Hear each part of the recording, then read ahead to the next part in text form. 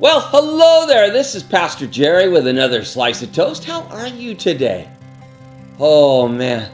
I tell you what, this time of year with 17 grandkids, and now I've got a great grandchild on the way, and five children, and plus a whole flock in the church, I want to tell you that I get joy out of giving.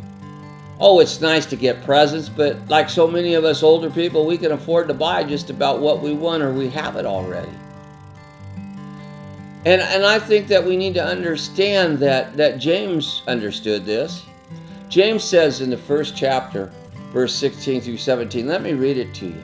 It says, Do not be led astray, my dear brothers and sisters. All generous giving and every perfect gift is from above, coming down from the Father of lights, with whom there is no variation or the slightest hint of change. God, He just, He never changes His mind about giving generously. And then in Acts 20 35, it says this By all things I have shown you that by working in this way we must help the weak and remember the words of the Lord Jesus, that He Himself said, It is more blessed to give than to receive. Why is that, you think? Well, Jesus said in Luke chapter 6, verse 38, he said, Give, and it'll be given to you. A good measure, pressed down, shaken together, running over, will be poured into your lap. For the measure you use will be the measure you receive.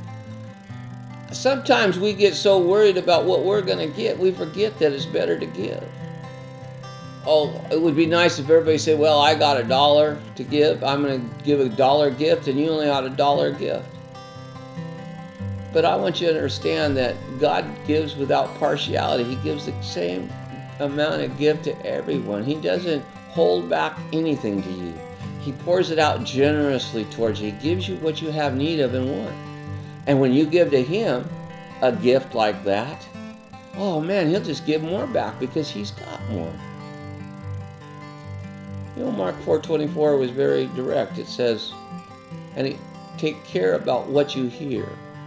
The measure you'll be will be the measure you receive, and more will be added to you. When you give to God of your time and your life, your finances, oh, your heart, God will give you back more, more, and more. When you give it to your children and you love them, I don't think anybody can outlove you like a young child can outlove you. And I don't think when you serve your family and serve others that you'll ever be without because someone God will stir to come up and help you. This Christmas, give all you got. Don't hold back. See what God will do for you. God bless you. This is Pastor Jerry with another slice of toast from the bread.